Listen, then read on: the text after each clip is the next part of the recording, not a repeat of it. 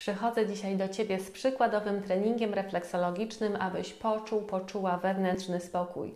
Ja jestem praktykiem refleksologii terapeutycznej, metody prostej i dobrej z natury. Dzielę się z Wami totalnie praktyczną wiedzą, która przyniosła ukojenie wielu moim klientom i niekoniecznie znajdziesz to w jakiejś książce.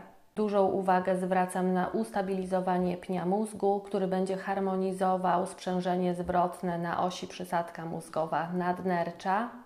Nercza wydzielają hormony stresu, adrenalinę i kortyzol. Chcemy, aby to się działo w sytuacji, kiedy rzeczywiście jest to potrzebne, a nie tylko, nie wiem, na wspomnienie jakiejś przykrej sytuacji.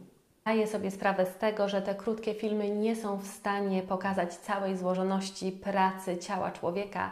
Dlatego, jeżeli chcesz poznać refleksologię od praktycznej strony, zapraszam Cię do newslettera.